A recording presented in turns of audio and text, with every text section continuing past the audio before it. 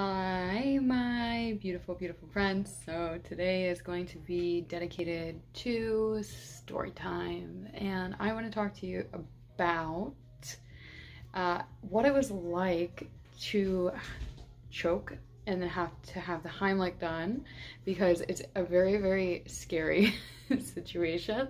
And I'm sure people are wondering what it's like if you've never had to go through it. Maybe you've gone through it and you were either the person giving the Heimlich or you were the person who was choking, like I was. Um, so we're just to start off with you know when i was living and like moderately staying with one of my good friends back in the pacific northwest i ended up you know stopping by the house and this is like right before i was staying for a little while and i ended up being starving you guys. Like i would go out and this is when i was like homeless. I did like this place was my home because you know I didn't really have a home and it was my only safe spot and it was the only place I had family well, what was like family. And I ended up going there after like a bench because I was a homeless teen drug addict who got thrown out onto the streets because my even my family didn't even have a house because they lost it to foreclosure but anyways regroup recoup so I ended up stopping by my, more just gonna say my, my um, home at the time, right? And I went there and I was just like starving. I hadn't eaten in a week, two weeks straight, like that much. I was maybe eating like top ramen like once in like the entire week. I was just not doing good. I was not taking care of myself. And I got to this house and I was starving and I was like, okay, I really need to eat something because I'm starving. And we ended up getting those rotisserie chickens that like you get when you are really really hungry. You want some juiciness you want some fat like you want some seasoning you want this like you know what i'm saying?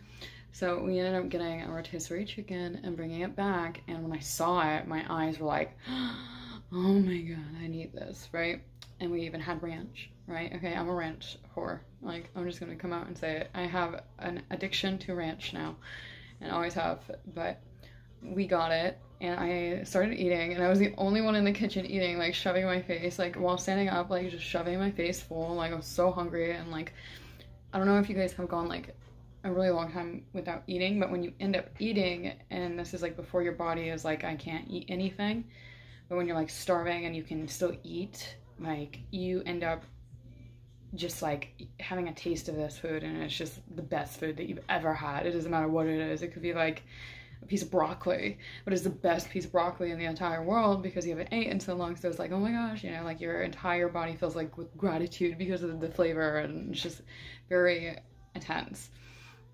Well, I was like going through this like super intense feeling of oh my gosh wow this is like the best chicken I've ever had like wow a ranch blah, you know and I was in the kitchen all by myself standing up eating and I ended up taking too big of a bite and I swallowed and I got stuck.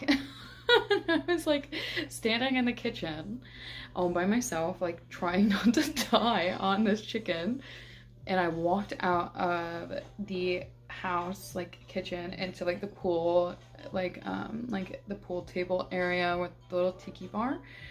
And I like went out to my friend and I was like I'm choking. Like I'm dying.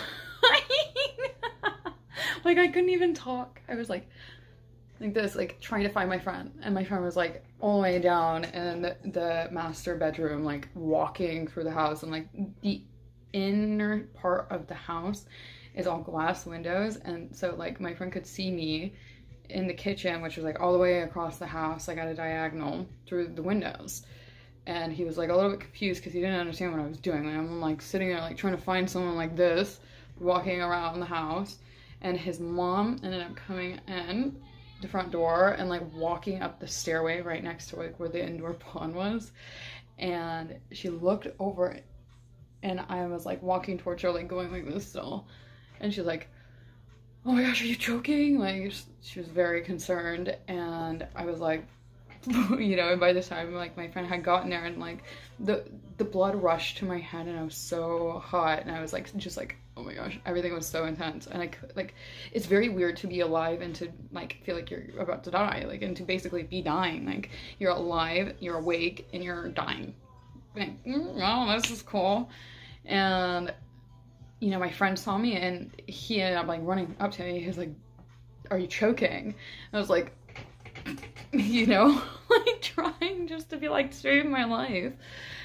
And he's like, Okay, I'm gonna do the Heimlich on you. Is it okay if I do the Heimlich on you? I was like, Dude, just fuck, like, you know, do it.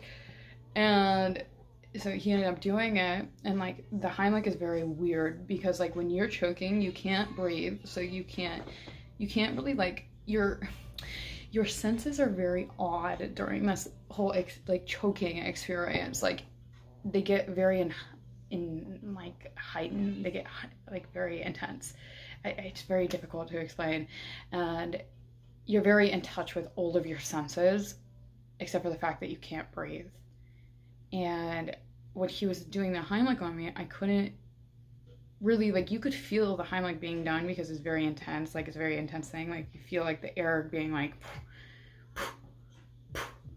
and everything else. But like I couldn't actually feel like it didn't hurt when he was doing it to me because I was dying on chicken. but then it ended up like coming in just like it came out finally. I'm very lucky. It came out and I felt all of this heat rush out of my head and the chicken fell to the ground. It was a weird thing. It just went plop, and that was it. So it was just very awkward. And they're like, after they saved my life, they're like, you need to have a drink of water. I was like, yeah. And I was traumatized. I didn't want to be at the house, so I ended up leaving like almost right away because I was like, oh my god, I just like choked and almost died in front of people. And yeah, now what? You know? But um no it, like i i wanted to share that that story with you guys because i've been having some like desires to you know stop by the house because i have connections in the house. I used to live in the house for a little while like the people that were in the house you know i had a very strong connection with and they were just like really really good friends of mine and they're family to me for a very long time.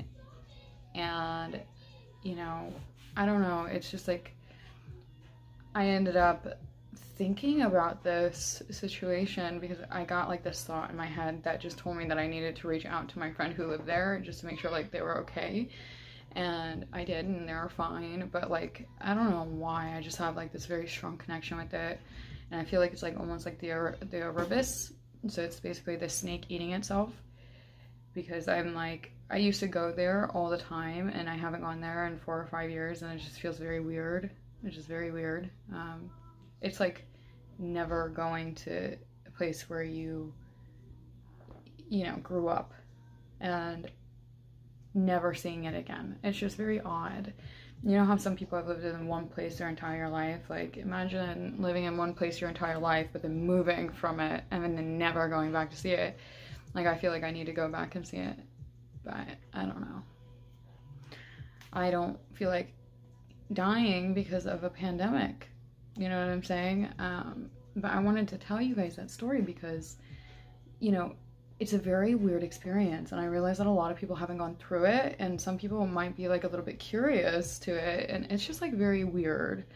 It's very, very, very weird. I've almost died several times. And that was probably the weirdest time out of them all was basically almost dying because of chicken.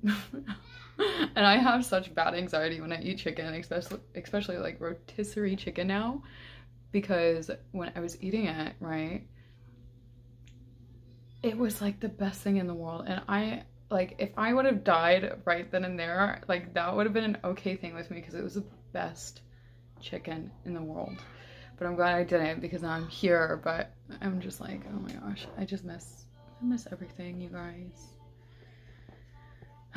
Goodness. But I hope you got some humor or maybe uh, experience or some education or anything, but you know, I strongly advise people all the time if you are afraid of choking, you should go and learn how to do the Heimlich and CPR and actually go and get certified and continue to get certified and continue to get training because it will literally save someone's life one day.